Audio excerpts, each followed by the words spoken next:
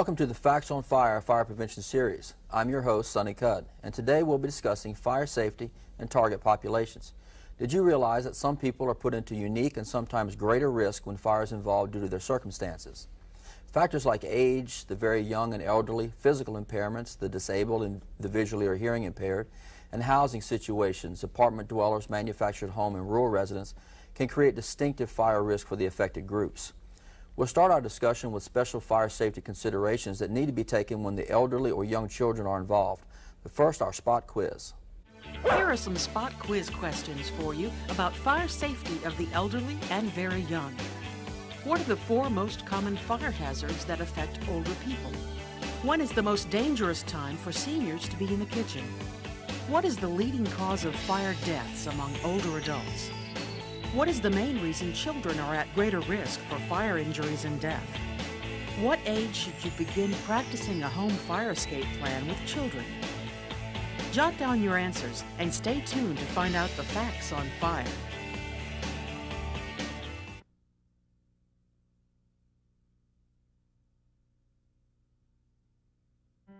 These hands have done so much in life. They can do so much for life by practicing fire safety. Make your home safe from fire. Learn how to use your fire extinguisher. Plan and practice escape routes. And install and maintain smoke alarms on every level in your home.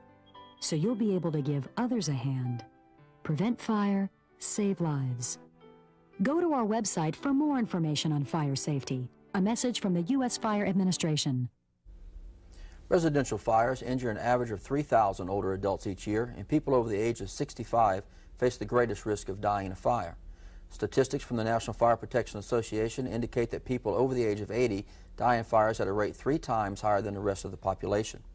Joining me in the studio to discuss fire safety for the elderly is Chief Chris Kaufman. Chief Kaufman is a 16-year veteran of the fire service in both suppression and prevention and is now serving as Chief of Fire Prevention for his department. Chief, have you seen any fires involving the elderly and what has happened in those instances? Yes, I have, Sonny. In most cases, the elderly will try to put the fire out instead of getting themselves out of the homes uh, to a safe location. Uh, well, Chief, why are, or, or, why are older adults more at a risk of injury and death from fire? Well, most of your elderly uh, move a little slower, have less mobility. In the event there's emergency, they're obviously more slower in getting out. I'm sure there, there's a factor involving medication. Uh, a lot of older folks tend to take a lot of uh, medication. What, what's the factors there? And that is correct, uh, and it will alter their thinking, and it will affect uh, how slow they're going to get out the residence or the decisions they make. Sure. Uh, living alone is probably another uh, relative factor that's involved in that as well, isn't it? it that is correct, and, and when you're living alone, you don't have anyone to help you, so it's good to have a, an escape plan and have the neighbors involved an event you need some help to get out the residents. Chief, what are some of the more common fire hazards that affect, affect the elderly today in our society? Cooking accidents would be uh, the number one cause for the elderly in fire-related injuries.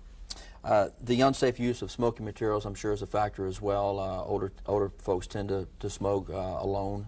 Uh, what are some of the causes there? Uh, the elderly sometimes will smoke in bed which uh, is also the leading cause of fire deaths for the elderly. So I would, I would make the, the, the comment that the elderly should never smoke in bed. Uh, heating equipment, you know, the, the elderly tend to, you know, be a little colder in the wintertime and uh, they may have some of the, uh, the portable heating devices. What, what can you tell us about heating equipment in the elderly home?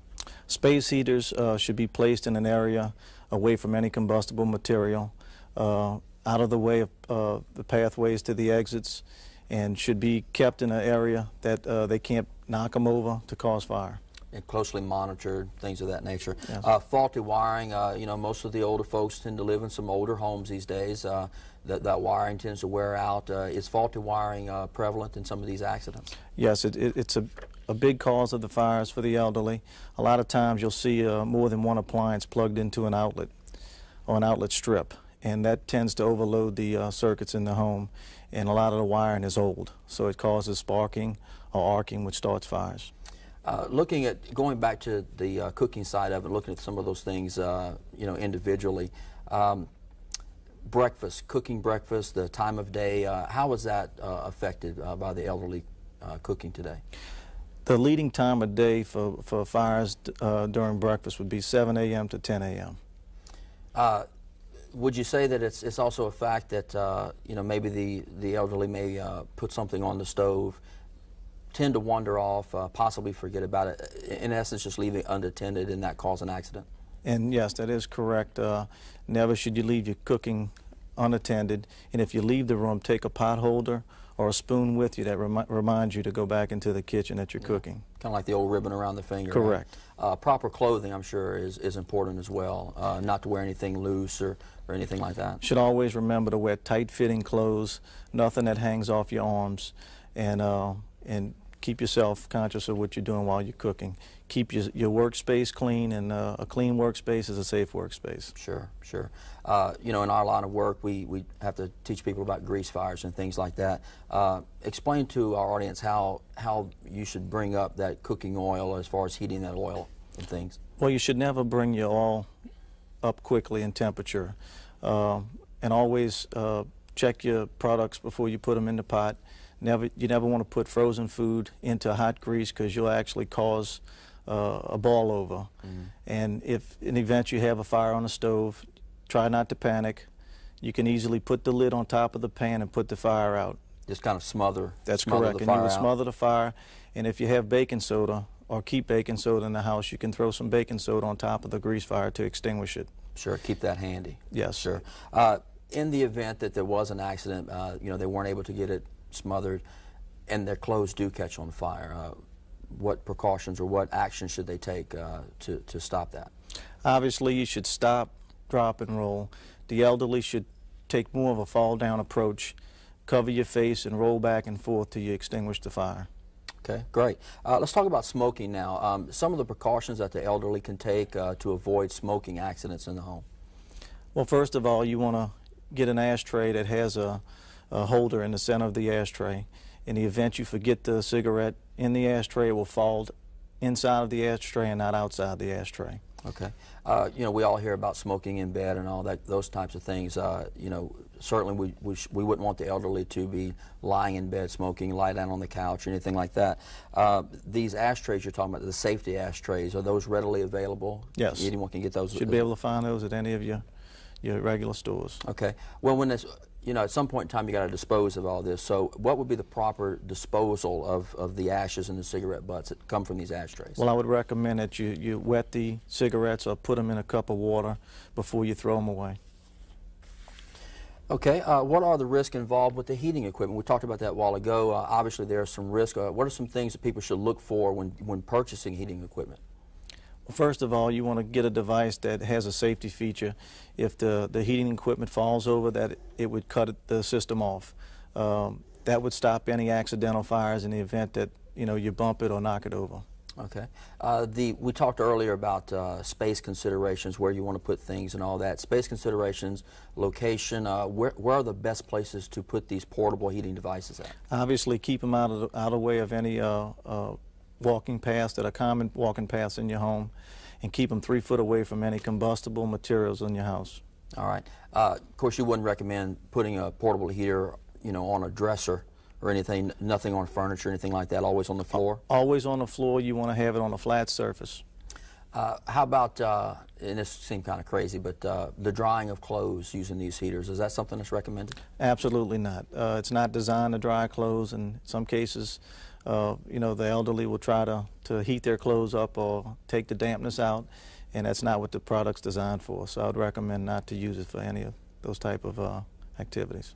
Okay. Uh, I mentioned a moment ago about uh, the older homes, the faulty wiring. Uh, certainly there are some electrical, electrical concerns out there uh, with the elderly in their homes. Uh, what are some of the things that they should, should they should uh, look for there? First of all, you may want to have a licensed electrician come in and check your outlets in your home. Sometimes the connections become loose and that would start arcing, which could cause a fire in your residence. And you want to make sure that none of, none of the wiring is frayed. Uh, if you have any extension cords in your house, you should check them to make sure that they're not overheating and that they're plugged in the out outlets completely. Yeah, I can remember seeing uh, uh, the little small Walmart type uh, extension cords with nine different things plugged into them, complete overloads. So I know exactly what you're talking about there. Uh, well, let's talk about uh, some of the risks that we've discussed, how can older residents prepare themselves should a fire break out? First of all, they should have an escape plan. Uh, Operation Exit Drills in the Home is the best way to, to prepare yourself in the event you have a fire emergency. And you want to practice those drills so that when you do have the emergency that you, you're not, you don't have to think about it. You can just know what your exits are and, and get yourself out the home safely. And of course, the best way to uh, to implement this escape plan during a fire is to have that early warning device, the smoke alarms, so things things like that. Can you tell us a little bit about smoke alarms? Yes, smoke alarms should be on every level of your house, and we recommend also to have them in every, in every bedroom. Early detection will save your life, and uh, when the smoke detector sounds, it'll wake you, give you enough time to get out the residence in a safe manner getting out to residents, that's kind of an important factor today. Uh, we try to live in a much more secure society. A lot of folks have burglar bars on their, on their homes. Uh, uh, can they present a hazard and, and, what are some of the things that, that, that they need to be able to do with those burglar bars to help their escape in, in case of a fire? I would recommend not to use any burglar bars, but in the event that someone does have burglar bars on their, their windows, uh, there are some, some breakaway features, you should practice those features and make sure that in the event that you have an emergency that you, you really know what to do uh, to get them the op to operate. Thanks a lot, Chief Kaufman. Appreciate that. When we return, fire safety for the very young, protecting young children from themselves. Let's summarize some fire safety tips for elderly residents. Never leave food unattended on the stove top. If you must leave the kitchen while cooking, take a spoon or pot holder with you to remind you to return to the kitchen, or use a timer. If a fire breaks out on the stove top, smother it with the lid and turn off the burner. Never wear loose-fitting clothing when cooking, such as house coats and nightwear that are easily ignited by stove heating units.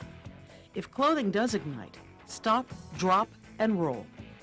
Never smoke in bed or leave smoking materials unattended. Empty ashtrays into the toilet or a metal container every night before going to bed. Or wet cigarette butts and ashes before discarding them into a wastebasket. Give space heaters their space. Don't place them close to drapes, clothing, or other combustible materials. And turn them off every time you leave the room or go to bed. Immediately have any sparking or electrical devices with frayed cords repaired by an expert.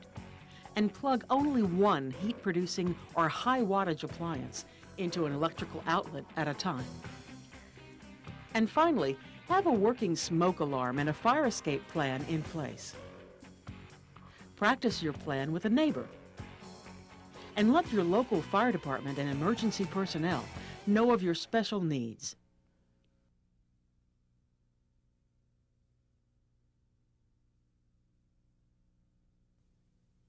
It takes just minutes for a fire to race through a room. Fortunately, this is just a demonstration. But the fire in Betty Roach's house was real, set accidentally by her grandson when he was playing with a lighter. I had a lighter and I had a piece of paper. I took the piece of paper, I lit it, and I put it on the ashtray. But and the ashtray fell. When I got in the hall, smoke alarm went off. And when I got upstairs, the, he was trying to put the fire out. The fire caught the floor and it went under the bed. And by that time, it just uh, got away from me. You can't imagine when I got in that hallway and I heard that smoke alarm go off, how I felt, because I knew they was upstairs. If it wasn't for the smoke alarms, I could have lost my kids. Welcome back to Facts on Fire. In addition to the elderly, one of the highest risk groups for deaths in residential fires children. Every year, over 800 children, nine years of age and younger, die in home fires, and children under five are twice as likely to die in a fire than the general population. Chief Kaufman, why are children at so much greater risk than the rest of us for fire injuries and death in this country? Because the children are very vulnerable. Uh, they're left a lot of times playing in the house. Uh, the parents are in another room. Uh, they may find a lighter or matches, and the curiosity comes out. And uh, children have a tendency to play with the matches or the lighter to see how it works. They may have seen mom or dad uh, use the lighter. So a lot of times uh, the children will go into what we call secret places uh, in their bedrooms, uh, under their beds, in their closets, and they'll play with these devices and in most cases start a fire and uh, the fires get out of control. Sure. What, uh, what are some of the ways to decrease the possibility of children, you know, playing with, uh, playing with, with uh, lighters or matches and so forth? Well, the parents should properly store lighters and matches in a safe location in the house. Uh, what about the child-resistant lighters? They, they have those out there nowadays. Or is that something that uh, people would want to look at doing? Definitely. You, you want to get the child-resistant lighters. And let's make the point that that's not child-proof. They're just child-resistant. So in some cases, the children do know how to, to operate the lighters. They've seen the parents do it before. So sure. keep the lighters and matches out of reach. Uh, how do you know what to do or what to say if you suspect that your child may be, may be playing with matches or, or lighters? Well, usually there's going to be there's going to be some indicators. Uh, obviously, if, if you find a lighter in your child's room, best thing I could tell you to do is bring them bring them into a room and have a, a discussion, see what they've been doing. Uh, sometimes it's just curiosity. If you realize it's it's much further than that, I would call in some professional help at that time. Uh, that lack of supervision, probably one of those things. Uh, if we stay on top of things a little bit better, maybe uh, you can head these things off before they happen. Besides playing with fire, what are some of the other hazards that children may face around the home? Uh, the so stove safety would be number one. Uh, when parents are cooking, they need to, to put the pot handles to the side, uh, keep the children away from the stove area, and, uh, and don't let any of the children touch any of the dials on mm -hmm. the uh, stove top. Of course, uh, a lot of folks like to burn candles these days, you know, like the, the, the scents and all that. Can that be a, a, a hazard as far as children in the home? Yes, yes. I would, I would keep candles away from children. Uh, if you're going to burn a candle, put it on a level surface and keep any candles three inches away from each other if, you, if you're burning more than one candle. Okay.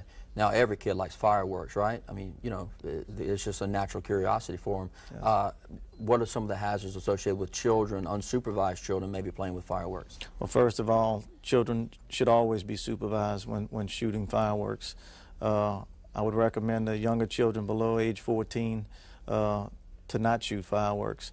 Uh, just uh, the sparklers alone can produce a thousand degrees Fahrenheit. So if you ask yourself that question, is a sparkler safe? It's not. So I would recommend that the, the parent have to have immediate supervision when, when any of the children are shooting fireworks. Never alone. Never alone. Never alone. Okay. And look at your warning labels on your fireworks and follow those directions. Yeah, uh, cigarettes, that, that's another, we talked about it earlier. Um, uh, parents smoke in the home uh, or maybe even outside the home, but it's around, then you maybe have the children who are curious about smoking. Things tend to happen there. That's correct. And, and one thing you want to do is educate your children on what, what, what's the right thing to do in making the right decisions and uh, keep the cigarettes uh, out of the younger children's uh, reach, no different than we do with the lighters and matches. Uh, home safety fire equipment, fire safety equipment in the home, especially dealing with small children? What are some of the things we should look for there? Well, smoke detector would be number one, uh, and I would have routine uh, fire drills in the home. Uh, in all of our schools, we have fire drills once a month, and we recommend that you go home and do the same thing. Practice your escape plans. Uh, ultimately, the, the smoke detector will save your life. Uh, one thing you see a lot of nowadays, uh, you see it advertised on television, a lot of these baby monitors. Uh, where uh, you know you can get uh, you can keep track of what's going on. Uh, important. That is very important, and you should have a smoke detector in that sleeping room with that infant. And if the detector goes off, obviously you'll hear the baby monitor, and know that you have a, an emergency. Uh, earlier, we talked about EDITH, the exit drills in the home. You know, it's it's a fact that uh, children as young as three years old can follow this the exit drills in the home or an escape plan uh, as long as it's practiced and, and it's taught and they're able to learn it. Um, what are some of the things that go along with that? Uh, obviously, practice makes perfect. So you want to you want to reiterate the, the procedure over and over so that that child, in the event they have an emergency, knows what to do. They won't have to think and have a common meeting place outside to where you know one child's not looking for another child or the parents going back into the residence. You know, practice your exit drills in the home and have a meeting place outside. Thanks, Chief. We'll be back next to review the answers to our spot quiz. Did you know that two thirds of home fires that kill children occur in homes without a working smoke alarm? When fire breaks out, you and your young children only have seconds to escape heat, black smoke, and deadly gases. By installing and maintaining working smoke alarms, families can dramatically increase their chances of surviving a fire. Smoke alarms are a minor investment to protect yourself and your family's future. Now it's time to review our spot quiz. What are the four most common fire hazards that affect older people? Cooking accidents top the list, followed by the unsafe use of smoking materials. Third, the unsafe use of heating equipment like space heaters. And fourth, electrical hazards due to faulty wiring in appliances and older homes or overloaded sockets. When is the most dangerous time for seniors to be in the kitchen? The hours between 7 a.m. and 10 a.m. are statistically documented as the time when most fire disasters happen to the elderly. What is the leading cause of fire deaths among older adults? The unsafe use of smoking materials is the leading cause of fire deaths among older Americans. What is the main reason children are at so much greater risk than the rest of us for fire injuries and death? Curiosity.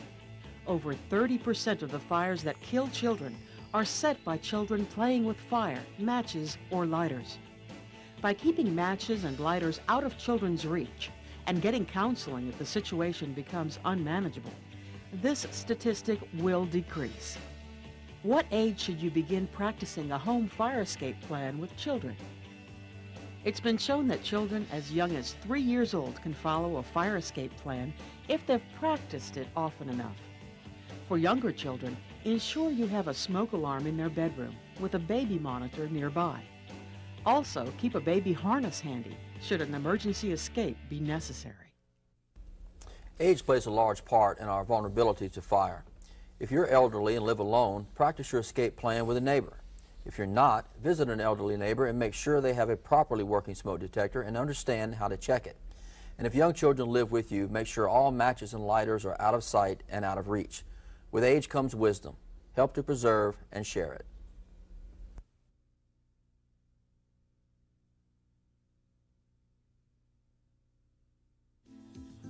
The Louisiana School for the Deaf is a residential school for deaf children. They receive their education through sign language. There are 120 students from elementary through high school who live in the dorms. At the beginning of the school year, all the kids who come to the dormitory are informed of the routes they need to take. The bedrooms have red lights that will flash. If the alarm goes off, one of these lights go off, then we know that a fire is broken out. And then we immediately run out of the window and we look for a safe place. I have an alarm system set up that's linked to a local fire station. If the alarm goes off in my house, the lights will automatically begin flashing. And they'll flash for about five or 10 minutes. And then there'll be a continual beam and the police and the fire department will come. If I lived in an apartment, I would need um, a light, some sort of alarm system to let me know that there was a fire, an extinguisher, and I would need someone to come and make sure that I was okay. I write with my neighbors. We write back and forth. Sometimes um, I'll gesture with them. They all know that I'm deaf. My neighbor did come one time to let me know about a fire that, was, that had occurred. I was totally unaware. It was about four or five summers ago. And my neighbor ran over and said, come out, come out. Apparently somebody had flicked a cigarette butt in the boat and had caught on fire. It was too late to salvage my boat. I was happy it was an old boat. House fires account for 71% of all structure fires and 83% of all fire deaths. For persons with physical impairments, the fire death rate is almost three times that of the rest of the population. In this segment, we will learn some specific actions these people can take to increase their odds of survival. But first, a spot quiz. Here's a fire safety quiz for persons living with disabilities. What are your top two best tools for eliminating fire risks? If you're hearing impaired, what good is a smoke alarm? What's the key to making a clean getaway if your residence does catch on fire? Take your best guess and jot down your answers. We'll review this spot quiz later. In America, there are over 11 million people who are visually impaired and over 28 million who are deaf or hard of hearing. During a fire emergency, these disabilities can put these citizens at increased risk of injury or death. Chief Kaufman, what are some of the risks that the physically impaired may face? Uh, decreased ability to react in the event of an emergency, and also uh, the disabled is reluctant to ask for assistance. Well, what are some of the general precautions that a person with a disability can take? Uh, the same as everyone else, uh, with modifications based on their disability. Uh, I'm assuming smoke detectors, same as everyone else on every level of the house. Um, I, I, would add smoke detectors in their sleeping rooms, of course. Sure. Sure. Uh, escape plan the same as others, or uh, according to their disability? Uh, according to their disability, uh, if there's special needs, uh, if there's a caretaker, get those persons involved in the escape plan. Uh, it may be a neighbor. Have them involved in practicing the escape plan.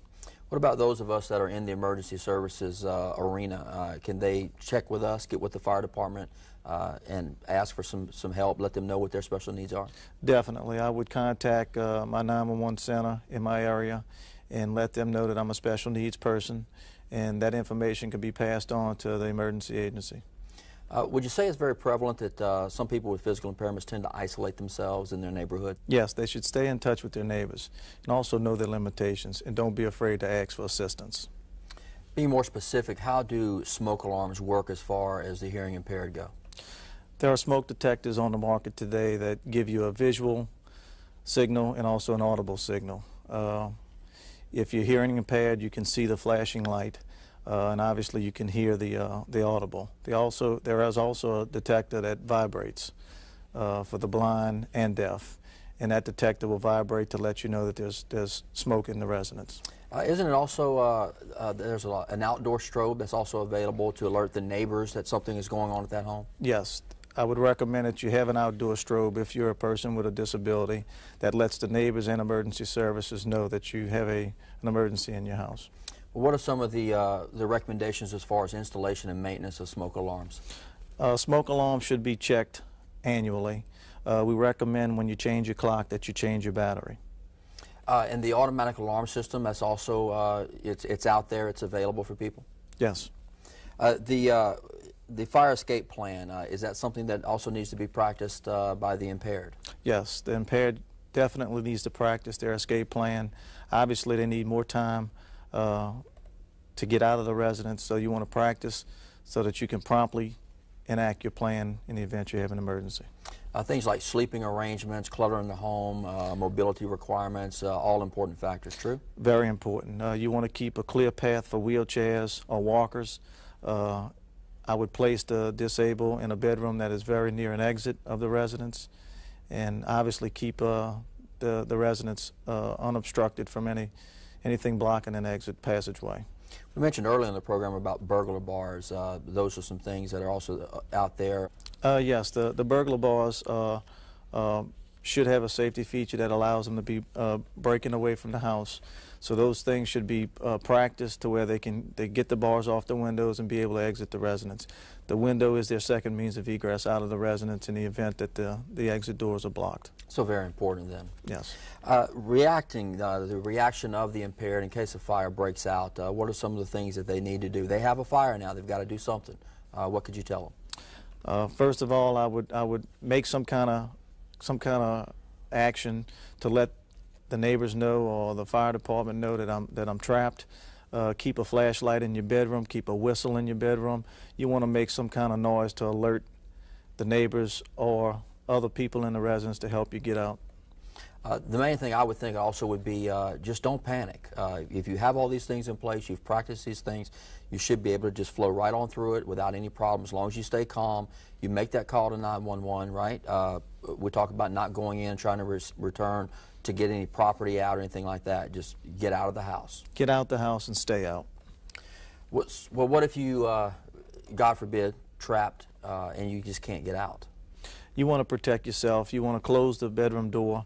Uh, that would last around 15 or 20 minutes. Block any cracks at the bottom of the door with a towel or bed linen and, and make your way to the window and make some kind of distraction with a flashlight uh, or noise that you can alert the neighbors or the fire department where you're at. We talk about with, with kids and things about uh, clothing catching on fire, you know, stop, drop, and roll, and all those things. How does that affect the uh, the impaired? The impaired needs to practice uh, putting the fire out by patting, smothering the fire. obviously, it's it's hard for, for someone that's disabled to, to stop, drop, and roll. So we recommend that they pat the, the clothing out uh, with another object, uh, a, a piece of cloth, pat the fire out, remove the oxygen, and smother it. Thanks very much, Chief. Let's review our fire safety tips for persons living with disabilities and then see how we did on our spot quiz. If you suffer from a disability or know of someone who does, be aware of these fire safety tips. Use smoke detectors on every level of your house. Remember to test them monthly and change the batteries at least once a year. If you can't reach the test button on your smoke alarm, ask someone to inspect it for you. Also, ask your fire department for special alarms available if you have a hearing impairment. Understand your limitations. Be honest with yourself about what you're not able to do, and don't be afraid to ask for assistance. If your mobility is impaired, for example, consult your health care provider or caregiver for alternatives to the stop, drop, and roll procedure. Also, consider moving your sleeping quarters to the ground floor. Inform others of your special needs. Make sure your neighbors are aware of any limitations that could play a part in a speedy response to a fire. Contact your local fire and emergency providers to keep your special needs information on file. Consider getting a monitored alarm service, which allow fire and medical emergency alarms to be transmitted directly to emergency dispatch centers. Have a prepared fire escape route free of clutter and accessible for wheelchairs or walkers if necessary. Practice your escape plan with your family members, the building manager, or neighbors. And if you or someone you live with can't escape alone, designate a member of the household to assist. Have a backup plan in case the designee is away at the time of the emergency. Keep keys to any exits handy by the bed. And if you have burglar bars, Make sure they have a release mechanism to allow you a way out. Now it's time to review our spot quiz for persons living with disabilities. What are your top two best tools for eliminating fire risks? Having a smoke detector in good working order and a planned escape route free of clutter. A close runner-up is communicating your special needs to neighbors and emergency personnel in case an emergency does arise. If you're hearing impaired, what good is a smoke alarm? Smoke alarms are now available for persons with hearing impairments. They're designed to flash a strobe light inside and also outside, or vibrate, alerting you that a fire's been detected. What's the key to making a clean getaway if your residence does catch on fire? Knowing your escape route and practicing it. Let your neighbors or building manager Know your special needs and involve them in your practice drills. Assign an assistant if needed and make them part of your drill too. No one understands the unique circumstances of your particular disability better than you. Communicate your special needs to those around you. Be a survivor. Don't let an emergency catch you completely unprepared. The time to plan your evacuation is not during an emergency.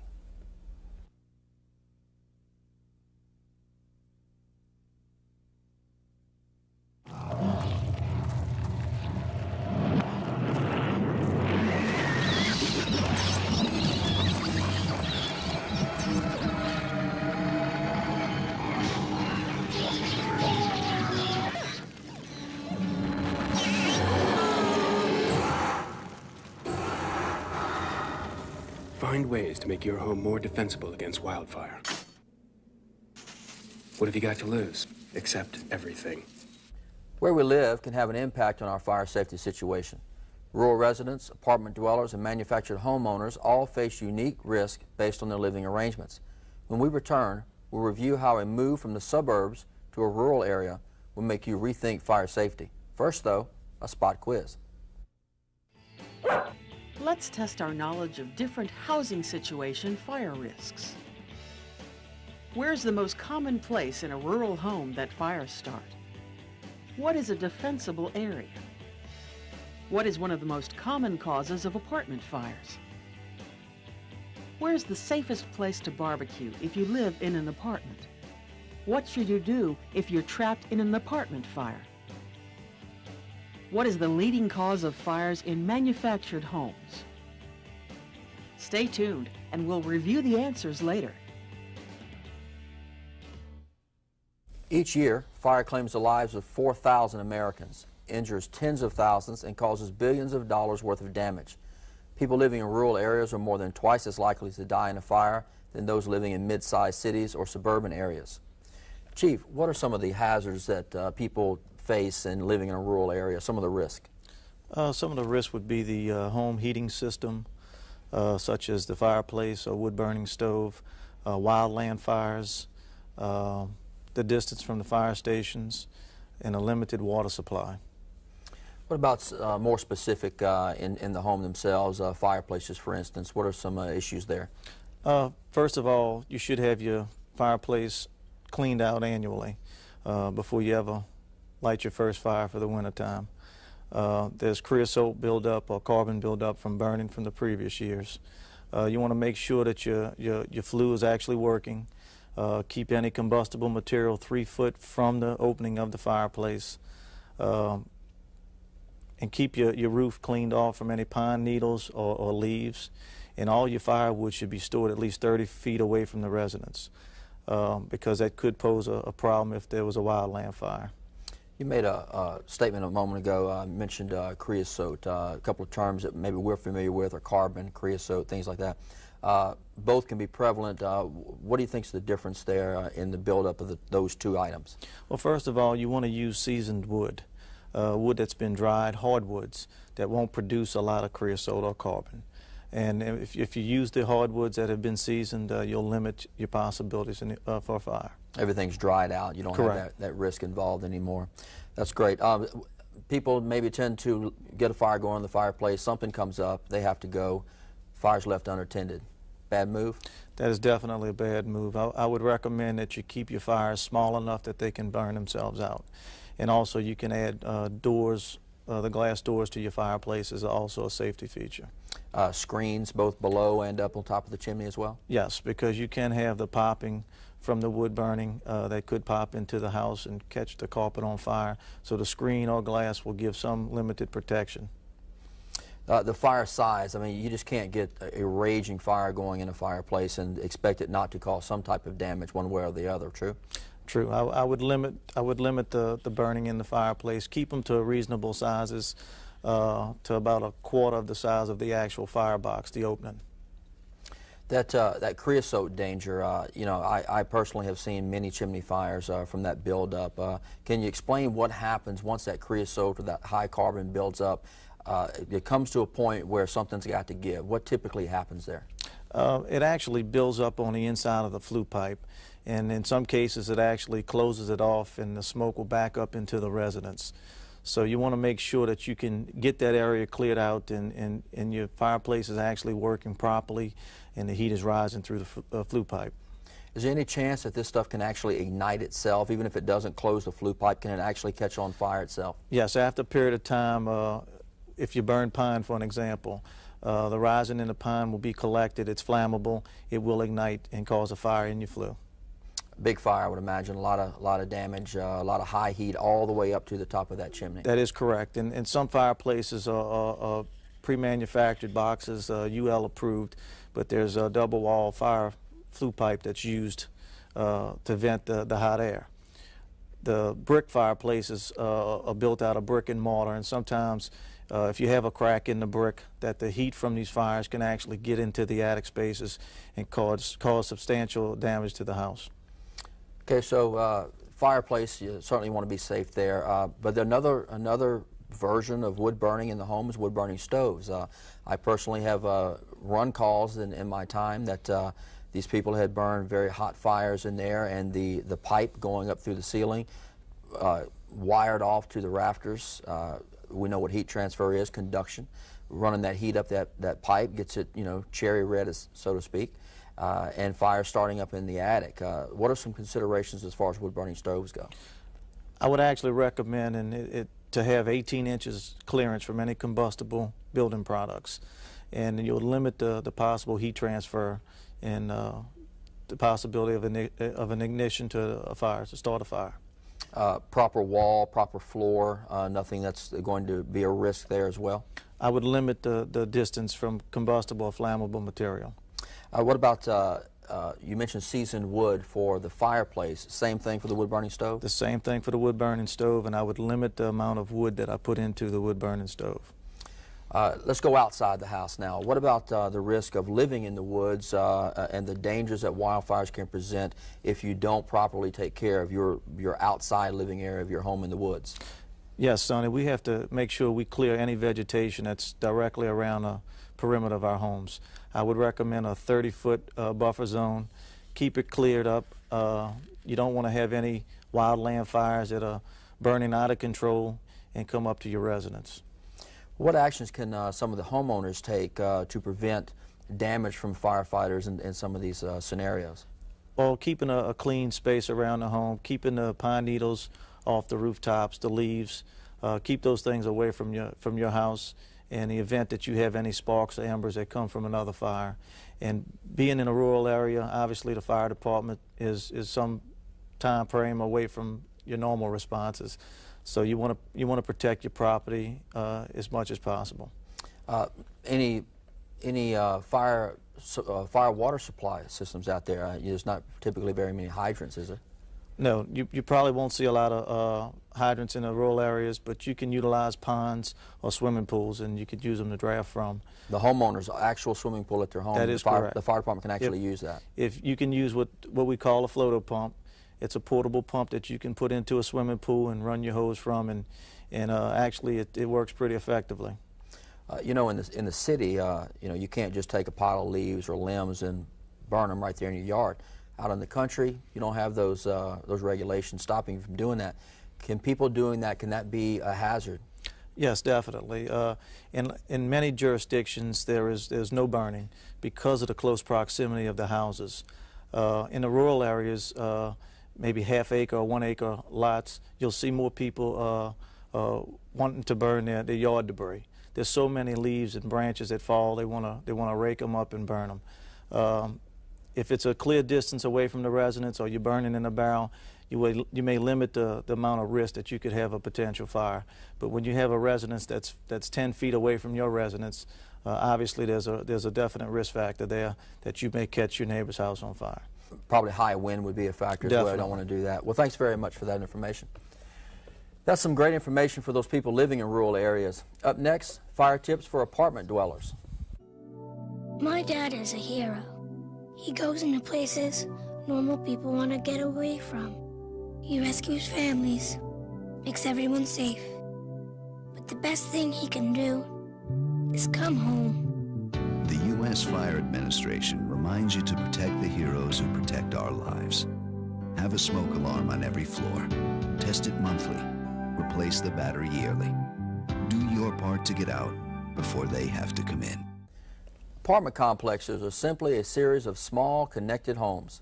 It's important to remember that what you do in your apartment can affect people living six doors down or even in the next building If the downstairs or next door apartment is on fire, it can quickly spread to connecting apartments in a matter of minutes. Chief, what are some of the uh, hazards that uh, people face living in apartments? Sonny, I would make sure that the smoke detectors in working order. Make sure all your fire hydrants are accessible and your fire lanes are clear.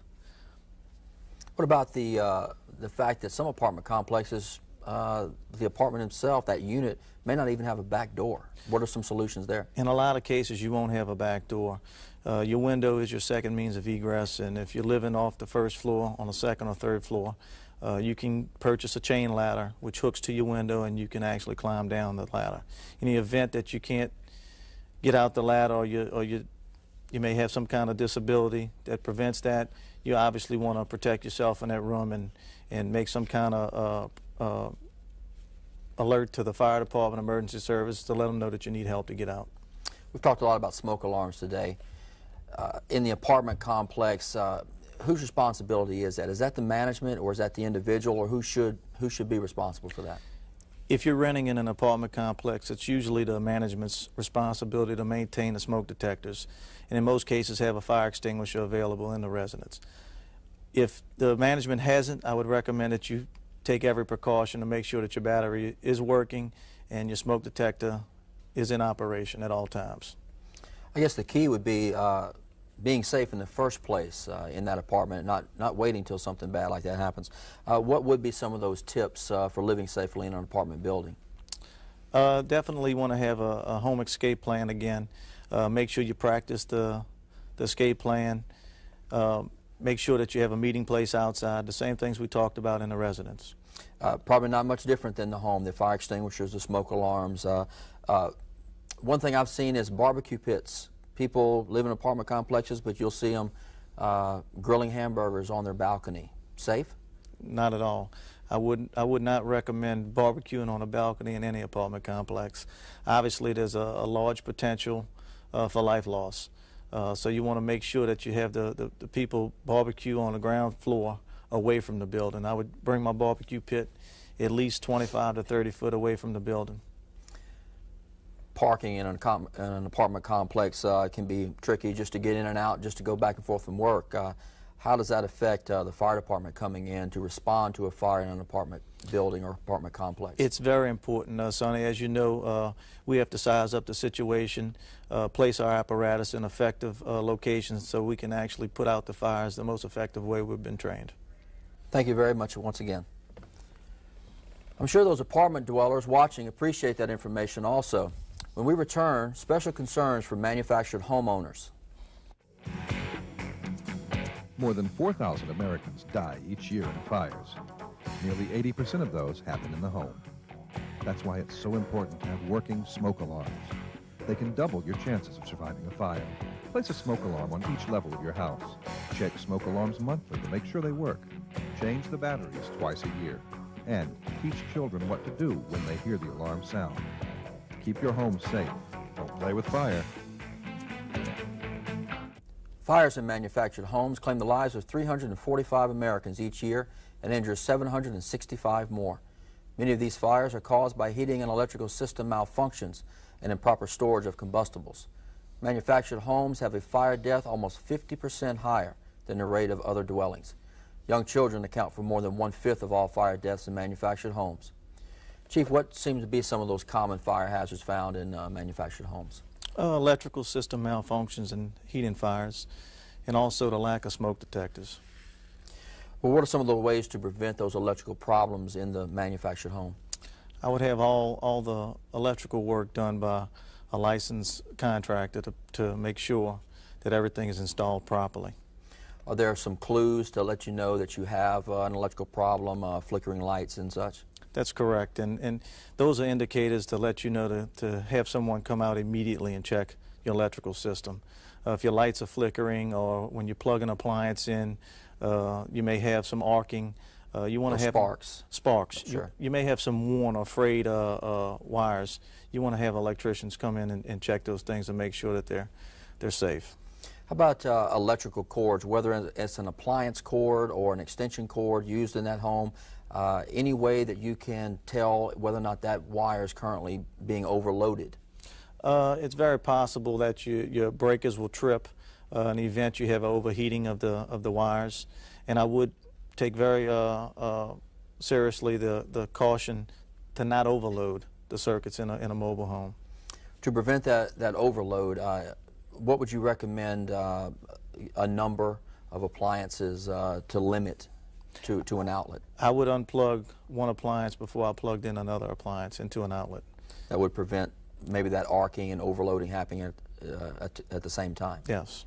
Uh, bulb burnout, you know, you just, you put a bulb in, two days later it's out. Is that a, would that be a good clue? That is definitely a clue. Uh, and also, I would like to make the point that the electrical wiring that comes in the, the manufactured homes are a little different than what you see in in your residential uh, building construction.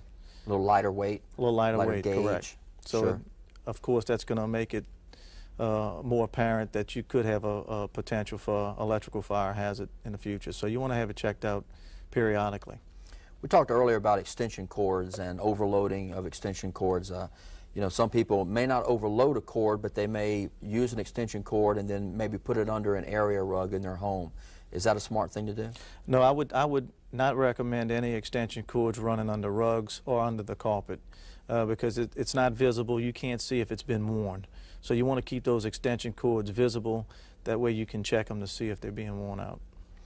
Okay. So let's talk about worst case scenario. Uh, there's been an overload, there's been a short of some type, and uh, this manufactured home in a rural area catches on fire. Uh, what can the homeowner expect uh, to, to happen in relation to fire department response and the amount of combustibles that that home contains uh, and the burning time that, that it may go through? Sonny, uh, on an average, a mobile home or pre-manufactured home will burn completely in around six minutes. So you want to take every precaution to get out the, the mobile home safely.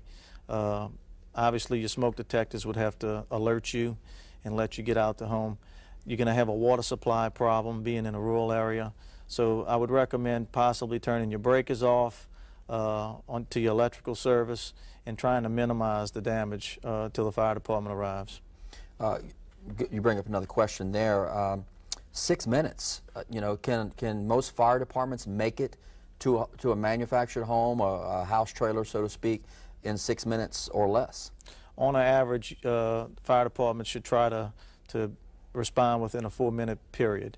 Uh, in a lot of cases, that's, that can't happen. So you want to take every precaution to protect your residence, whether it be a, a house or a mobile home, uh, in the event you have a fire.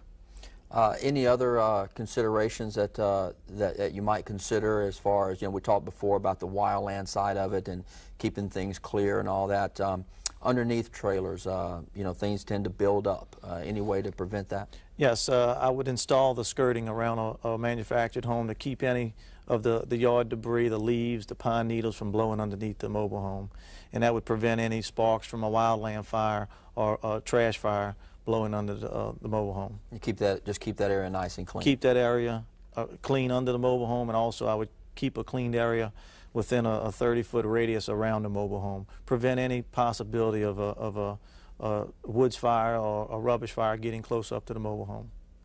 Well, thanks once again for that information. Now it's time to review how you did on the spot quiz.